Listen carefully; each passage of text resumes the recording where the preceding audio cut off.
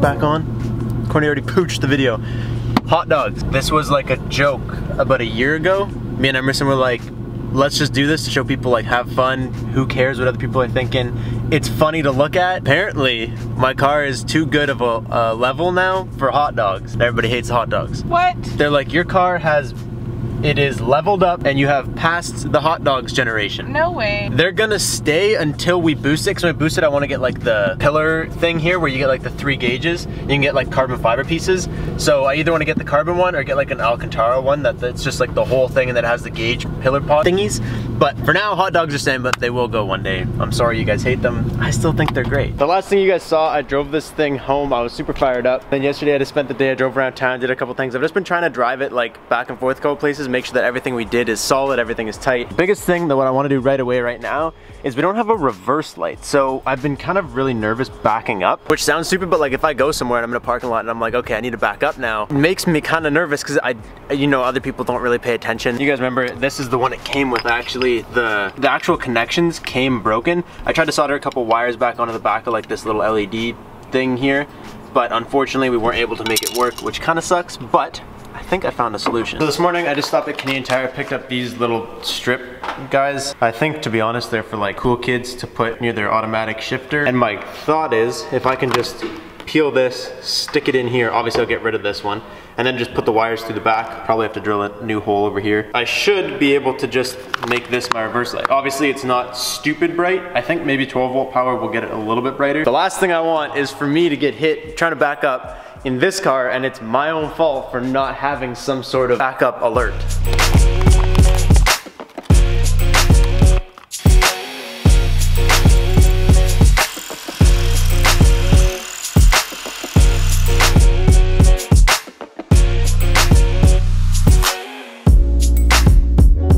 Look at that, dude. That actually looks perfect. Does that not look really good? It looks good. So what I did I wasn't gonna show you guys until I did it and it was successful because last time I tried to fix this light, I just broke it. I like drilled down into this side and then I drilled down into this side and I drilled a new hole. So it goes farther in and then the wires can just come out. I'm just gonna have to fill this. So now we can come back to that.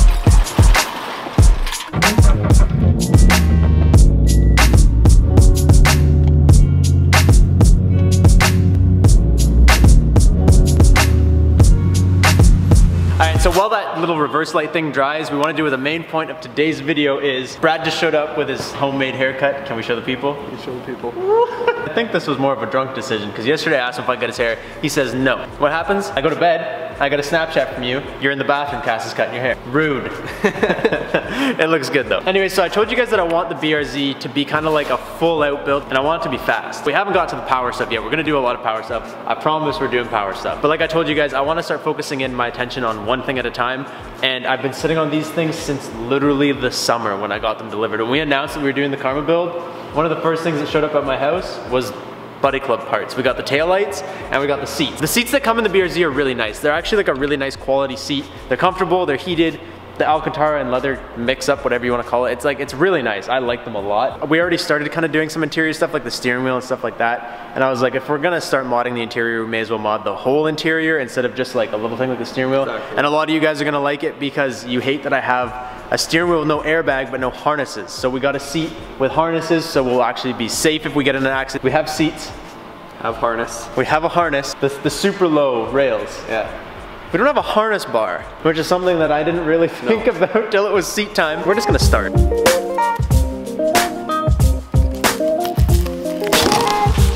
That is a really weird way to ship a pair of seats. Oh man, those are nice. These are gorgeous, man.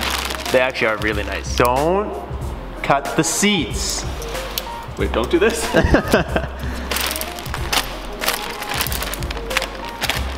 wow, these are nice. A lot of times I don't put what he says in the videos because he's a very honest guy. And like if we open something that's he'll be like, what the is going on? Yeah. And I just, I won't put it in the video and then usually by the end of it he like looks at it a little bit longer. But when he's hyped up about something, that's how you know it's nice. How do we get it to, maybe we do this? This, nope, that's definitely the lumbar. What's oh, that do? we have to hand crank it. What? what the hell is this? Why are we gonna do this? Set it up to a drill. The whole things are suede. Really Look nice. at the Buddy Club stitching on that. Like that is really nice. Oh my god, man, these are nice. So at least we're replacing nice seats with nice seats. Yeah. You know, like when we took the seats out of Emerson's 240, we were- Those ones were garbage before. yeah, like we were replacing garbage with, at that point, anything. Yeah, and I like that it came assembled. Yeah. That was nice. a super furta move. All right, so lumbar is just atrocious. Right Yeah, I don't know how to do the lumbar. That's what we gotta rock with? There's no way.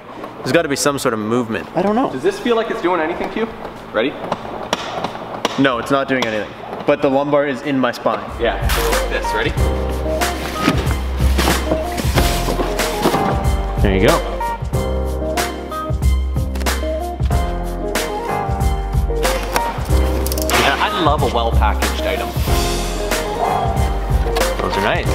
Stickers, guys, come on. I want a sticker. It's I think five. Five. Four point. Four point, two inch straps. Enjoy the fun of motorsport. Nice. Will do. Uh, we'll this like one this. should bolt somewhere down there. There we go. All right, get him. Honestly, I think that looks nice. I was just telling Brad that I got the red ones right when he was opening it, and he's like, man, Should have got the black, but it don't look bad. you're ready to go. What are you driving a diesel? It sounds like you're driving a Duramax. No, no, no. 1300 horsepower BRZ.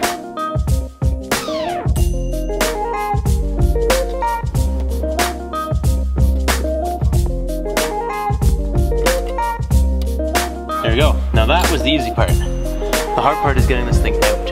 How about the electrical clips? Of course I remembered both the electrical clips. I, of course. Go, can you actually get it out nicely? Yeah. Oh, beautiful.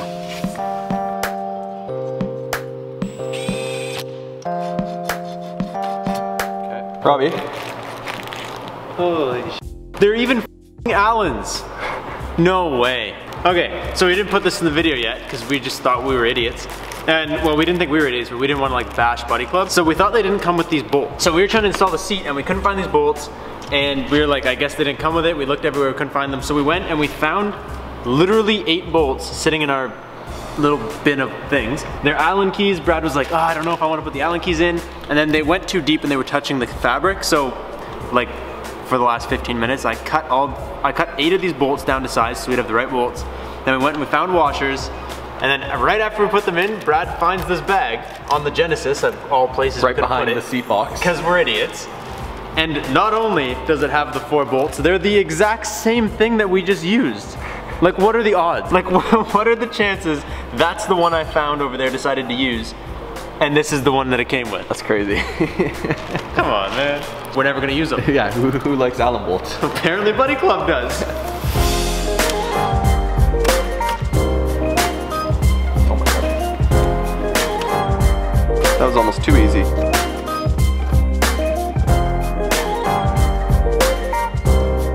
BRZ is a nice car. Really is. This thing is basically just a version of a 240. You wanna say that one again? This thing Is is, a basically sh- a nice version, version of a 240. a version of a 240 240. is a version of itself. no, no, no, no, no. 240 is a beautiful car. It You're is. never gonna say it's and not. then we'll just end it right there. No. We're just gonna end it right there. No, this is just like a 20 years newer 240. Mm, that part true, I guess. You can buy this thing and it doesn't need to be completely rebuilt. For time reference, way longer than it was supposed to take. They're in. And now the tools I need to lock down the final bolts right here are underneath the seat. But, oh my god. What? These are not the lumbar support. We're doing the wrong thing. What? You know this little lumbar support guy? Yeah. You lift it. Oh! I could have been doing that the entire time. Hello! How come it hasn't been doing that? Well, we know for next time. How come it wasn't doing that when we were out? I feel like that was a lot more work than I wanted it to be. Absolutely. That took way longer. But for today, Why, why are you driving when you were in neutral? slow. It looks fantastic though. Like it looks super cool. I think the stitching's done like really, really nicely on these seats. I like it. I think it looks really good. Just the whole, the whole shebang looks real nice. I don't know if you guys will be able to see it through the. It looks good, dude. In person, you can see right through the glass. It looks really nice.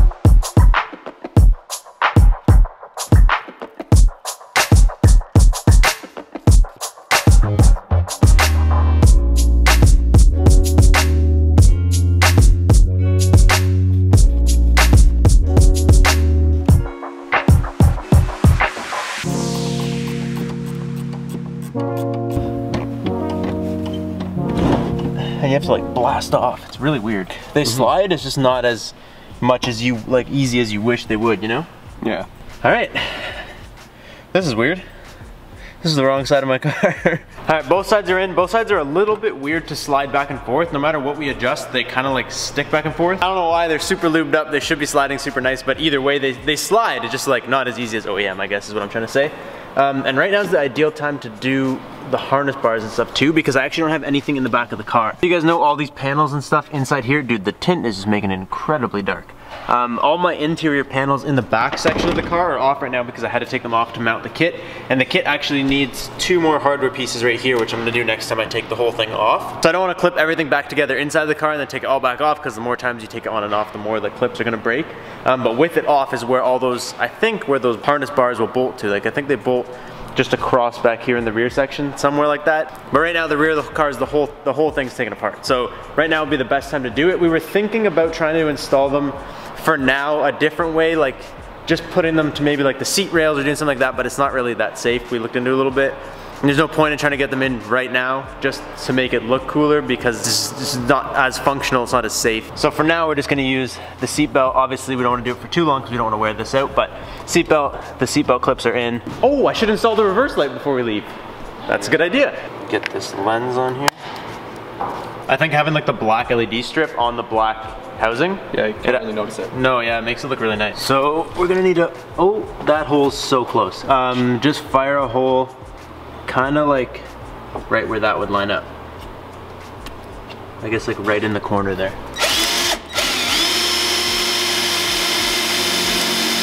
It's kind of ugly because it's going into like a dirty bumper. Give them a little temperature.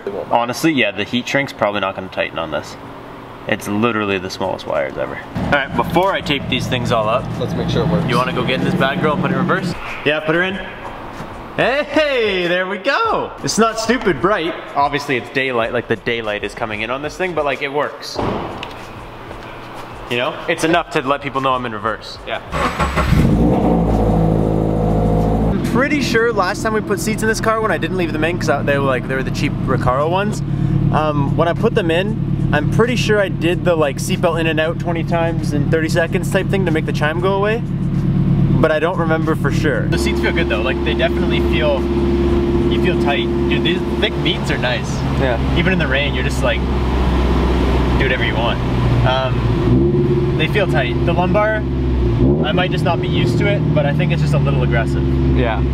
Like I would appreciate if I could dumb it down just a little bit. But other than that, I think they're fine. Civic ones, they're loose as hell. Yeah. Like they're just, their design is really bendy. These ones are like super nice. I don't feel like I'm going anywhere. so aside from this airbag light, which we maybe will be able to get programmed out, I'm not 100% sure. We'll have to take it to a dealership where like someone knows us Yeah. or would like to treat us nicely. and then these ones are always on, but they only did the one dinging cycle, which is kind of cool. Yeah.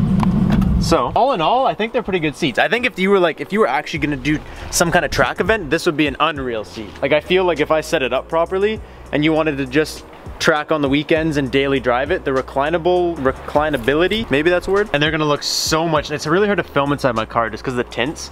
Like everything's really dark, but these are gonna look unreal when we get the harnesses and everything set up in here. I know a lot of people are gonna rip on me for putting all this stuff into a car that I'm gonna daily, but I want a daily like a show car. You know what I mean? That's that's the point. I'm making that decision. It's a dumb one maybe, but I'm making it. So huge thank you again to Buddy Club for helping us out with the build and a big shout out to DSG Performance because everything that you've seen me do on the BRZ so far can be purchased through DSG, if not like their exhaust and stuff is their own products now. Um, but all that kind of stuff, they they only really supply like the the good products. Like you can't really go get cheap stuff from them. You can only get really nice stuff from DSG. And something that I told you guys I really want to do with this build is just keep it as nice as possible and just have like a crazy nice build quality. Honestly, just installing the seats and installing the exhaust and everything that we've done, like the wheels, the craziest wheels I've ever done. And everything we're doing is just like the quality, I guess, coming fresh off of kind of doing more of like an eBay Civic build is just unreal. Like I can't even believe that I'm doing half the stuff I'm doing. It's just crazy. Shout out to my little DIY reverse light. This thing is dope. And that's pretty much it. So like I said, we gotta figure out something with this harness bar so we can get the harnesses in there because I don't want to destroy the seats with like the seatbelt coming across them. And I have a plan for these guys that hopefully works out. I would be really pleased if it does. But that is it. That's all I'm gonna have for you guys today. I hope you guys enjoyed today's video. I will catch you guys next time. Thank you guys so much for watching. Peace out and stay committed.